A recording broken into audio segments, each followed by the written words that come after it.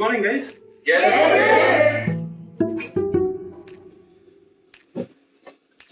Hey, you know what? People keep saying get a grip to me. I don't know what's that about. oh yeah, get a grip.